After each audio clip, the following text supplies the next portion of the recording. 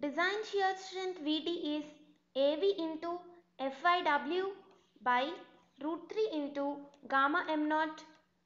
Av is overall depth into thickness of the web for major axis bending into fyw by root 3 into gamma m naught. Overall depth for ISWB 300 is 300 into thickness of the web is given as 7.4 into 250 by root 3 into gamma m naught will be 1.1 which is equal to 291.3 kilonewtons.